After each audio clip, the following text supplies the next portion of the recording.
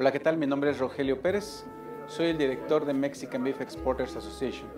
Quiero invitarlos al Congreso Internacional de la Carne que se celebrará los días 21 y 22 de marzo de 2018 en la Ciudad de México en el World Trade Center.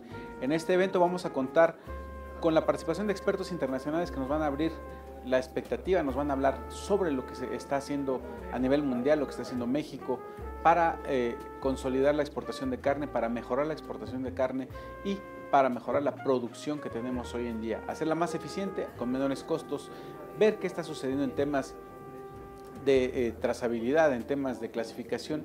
Los invitamos a todos a ver este congreso. Vamos a estar hablando también de lo que está haciendo México como exportador. Vamos a hablar de lo que hace nuestro país, donde hoy en día estamos trabajando para diversificar los mercados. México está poniendo sus expectativas en abrir o consolidar el mercado chino. Consolidarlo, ¿por qué? Porque ya estamos hoy abiertos con al menos dos empresas mexicanas para la exportación a China. Un país que viene creciendo en sus importaciones, es un país que para nosotros es importante y al cual podemos llegar con el producto fresco que hoy estamos ofreciendo. Estamos buscando también la reapertura del mercado ruso, un mercado importante para nosotros que, que llegó a representar alrededor de 20 mil toneladas en hace unos 3, 4 años que estuvimos en este mercado y que fue eh, cerrado por algunos temas de restricciones sanitarias en los cuales hoy en día estamos cumpliendo y estamos buscando la reapertura de este mercado. Estamos también trabajando en consolidar nuestra participación en Corea, un país que también tuvo restricciones para México que han sido cumplidas y que eso nos ha permitido que poco a poco vayamos acreditando a más empresas para reexportar nuevamente a Corea del Sur buscando también los países de Medio Oriente. Medio Oriente, donde nos hemos preparado ya con la certificación halal y en donde hoy en día ya estamos exportando a Qatar, estamos exportando no a Medio Oriente, al, norte de, Egipto, al norte de África, perdón, en Egipto, y en donde hoy en día la carne mexicana ya está llegando. Estamos próximos a participar en un evento llamado Golf Food en este febrero de 2018, en donde vamos a conocer más de las necesidades de los productores, de los consumidores, eh, perdón, de los consumidores y los comercializadores en esta región. Vamos a hablar de qué se está haciendo, vamos a ver qué se está haciendo porque hay innovaciones desde luego. Nuestro fuerte son los productos eh, en fresco, los productos congelados. No obstante, tenemos que ver cuál es el avance.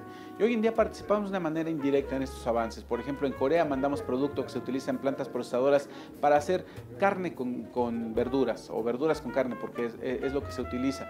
También se hace en Japón, en donde mandamos producto que se utiliza para cadenas de, de comida rápida, en donde la carne es parte de este producto eh, que se vende a los consumidores japoneses o, en, en el caso de Oriente Medio. Estamos trabajando con todos estos mercados y vamos a seguir consolidando nuestra participación. Hoy en día México exporta a 18 mercados y estamos buscando consolidarnos en más países. Vamos a seguir creciendo en Estados Unidos, vamos a seguir creciendo las exportaciones a Canadá, vamos a posicionarnos en Japón, pero queremos seguir diversificando nuestros mercados para que la carne mexicana siga presente a nivel mundial. La exportación de México de carne está ubicada en un 99.9% en carne fresca y congelada, producto que va porcionado o en grandes eh, porciones, me refiero a una pieza de ribeye, que no quiere decir un corte de ribeye que es uno de 300 gramos, sino a los eh, eh, kilos, que es toda la pieza, que es la parte del lomo que representa el ribeye. El ribeye enviamos costillares, enviamos piernas o parte de la pierna, solo la bola de la pierna. enviamos productos que van para su porcionado en los países en los cuales estamos llegando, además de que también estamos enviando porcionados ya a mercados como Japón. Hay empresas que hoy en día ya están eh, enviando productos que van empacados al alto vacío y que sirven para los consumidores de cada uno de los países. Enviamos a Japón, enviamos a Estados Unidos, enviamos a Corea.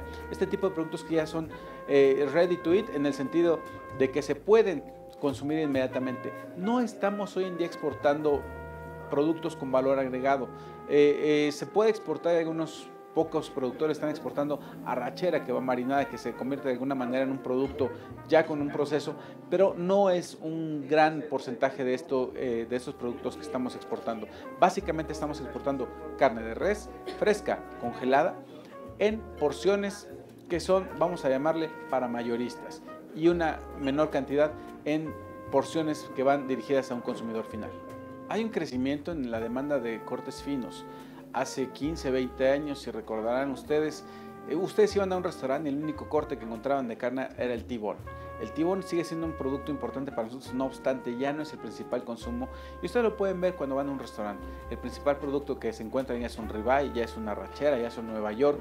Es decir, el consumo de la carne en México ha cambiado. Seguimos manteniendo nuestro, nuestra tendencia y nuestro gusto por consumir los caldos, en donde usamos los chamaretes, donde usamos los costillares para diversas, eh, eh, diversas eh, usos culinarios en nuestro país, pero la carne como tal se sigue consumiendo. Algo que no se deja de consumir a nivel central, a nivel eh, de la parte sur de nuestro país, son los bisteces, que vienen básicamente de la bola, que es un producto magro, que es lo que le gusta a nuestro consumidor, pero que poco a poco ha ido cambiando esta tendencia, porque si bien es cierto que muchos de ustedes conocen un bistec, también cada día más personas conocen lo que es un ribeye, saben lo que es una carne asada, saben lo que es un producto eh, a la plancha, grill.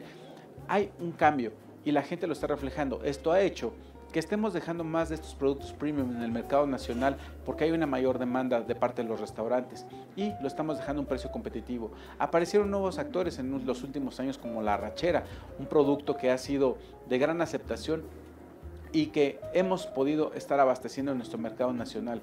Hoy en día vemos también que se está consumiendo algún costillar de res para hacerlo solamente asado, algo que no veíamos. Veíamos los costillares de cerdo, pero hoy en día encontramos los costillares de res que se preparan a la barbecue, encontramos los costillares que se preparan al grill.